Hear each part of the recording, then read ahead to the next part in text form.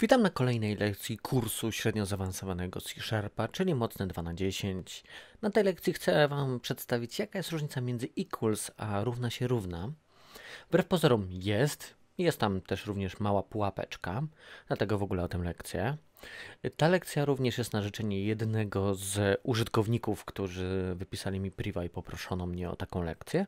Dlatego, cóż, zapraszam i czas na ptaka.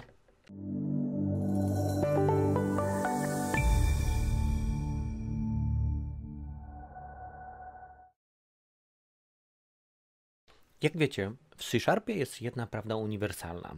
Wszystko jest obiektem.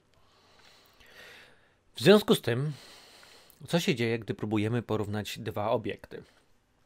Jak widzicie, tu jest mały kod, jest napisany tak jak jest, robimy start i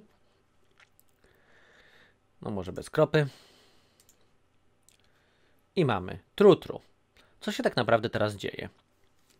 Cofnijmy się troszkę do tego, jak tłumaczyłem obiekty. Obiekty składają się z dwóch segmentów. Pierwszy to jest referencja do niego, a drugi to jest jego wartość. Więc tu mamy referencję, tu mamy jego wartość.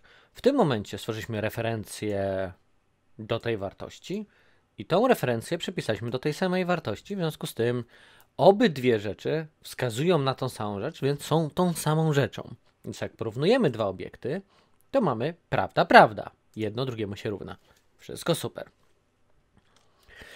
A co się stanie, gdy stworzymy nowego stringa i dodamy, e, porównamy te dwa obiekty? W tym momencie mamy fałsz i prawda. Ha, dlaczego? Tu trzeba sobie uświadomić, że równa się równa porównuje referencję obiektu, a equals porównuje wartości. W tym momencie wartości mamy faktycznie takie same, ale mamy różne referencje, bo są to dwa różne obiekty, które mają tą samą wartość. Więc pamiętajcie, równa się równa zawsze i zawsze porównuje referencje, czyli to, to i to. Equals porównuje wartości. Prawie dobrze zaznaczyłem. Tak samo i tu. Wartości. To jest dwa, dwie najważniejsze, to jest jedna, przepraszam, najważniejsza różnica tych dwóch rzeczy. Jedno porównuje referencje, drugie porównuje wartości. Oczywiście nie obeszłoby się bez pułapek. Co się stanie, gdy spróbujemy porównać na przykład dwa stringi? Tu mam, jak widzicie, e, taki kod, który tak naprawdę stworzył nam kolejnego stringa i zobaczmy, co się stanie. Mamy true true. Powiecie, what? Przecież mamy różne referencje i ta sama wartość. W stringu jest mała pułapeczka. Zawsze, ale to zawsze, gdy macie string. Zawsze, zawsze, zawsze, zawsze porównuje, porównuje on wartości, nieważne czy używacie równa się równa, czy equals. To jest najważniejsze. Przy obiektach pamiętajcie, porównuje referencje, gdy używa równa się równa, a equals zawsze porównuje i to zawsze, zawsze, zawsze porównuje wartości.